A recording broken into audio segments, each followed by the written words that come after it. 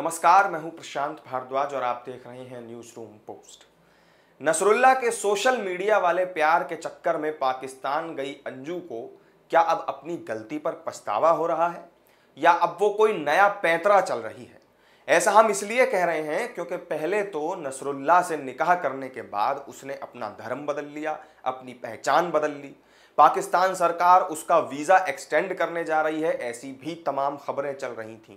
लेकिन कुछ समय पहले तक काफ़ी खुश नज़र आ रही अंजू को अचानक से अपनी गलती पर कथित रूप से पछतावा होने लगा है। एक इंटरव्यू में उसने कहा कि उससे जल्दबाजी में मिस्टेक हो गई। उसने सोचा तो कुछ और था, लेकिन कुछ और हो गया। अंजू को अब अपने बच्चों की भी याद आ रही है। उसने कहा कि यहाँ मुझे लेकर सब पॉजिटिव हैं। यहाँ मैं जिस प्लानिंग से आई थी कुछ सोचा था, लेकिन हो कुछ और गया। जल्दबाजी में कुछ ना कुछ मिस्टेक हो गई यहाँ पर। यहाँ पर जो कुछ भी हुआ है, उसकी वजह से भारत में मेरी फैमिली को बहुत जलील किया गया है। इस वजह से मैं बहुत दुखी हूँ। बच्चों के मन में मेरे लिए क्या इमेज बनी होगी? इसलिए मैं ये चाहती हूँ कि मैं वहाँ जाऊँ। मैं सब कुछ सब फेस करना चाहती हूँ। मेरे पास सभी सवालों के जवाब हैं।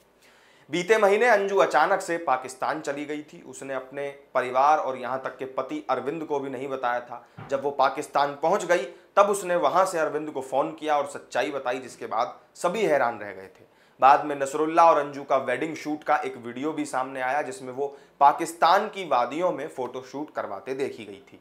शुरुआत में तो उसने दावा किया कि नसरुल्ला से उसने निकाह नहीं किया है, लेकिन स्थानीय मीडिया और अन्य लोगों ने साफ़ कर दिया कि दोनों का निकाह हो चुका है और यहाँ तक कि अंजू ने अपना धर्म परिवर्तन भी कर लिया है। तो आपको क्या लगता है कि अंजू को वाकई में कोई पाकिस्तान जाने पर पछतावा वास्तव में हुआ है या उसका कोई ये सोचा समझा नया पैतरा है? हमें कमेंट करके आप ज़रूर बताएँ। वीडियो पसंद आई हो तो लाइक और शेयर कर दें और चैनल को अगर सब्सक्राइब नहीं किया हो तो ज़रूर कर लें। फिर मिलेंगे एक नई वीडियो में नई जानकारी के साथ। तब तक के लिए दीजिए इजाज़त। नमस्कार।